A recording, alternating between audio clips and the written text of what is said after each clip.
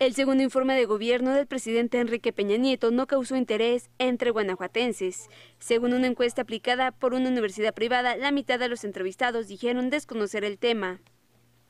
De los 250 ciudadanos encuestados, el 50% contestó que no leyó o escuchó el informe, mientras el 30% respondió que sí.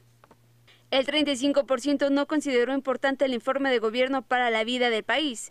El 27% dijo que sí y el 24% algo.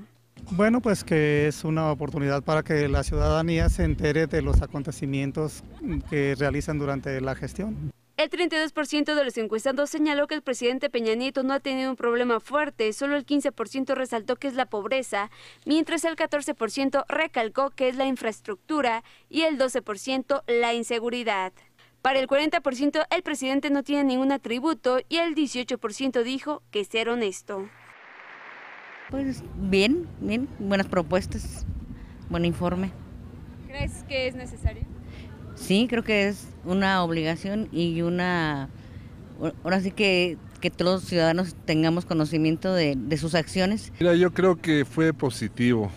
Al final en este país lo que necesitamos es un cambio, pero que sea un cambio que sea sustentable, que sea real, no, no en base a puras promesas. Finalmente, el 35% de los ciudadanos aprobó poco al presidente de la República y el 31% lo desaprobó mucho.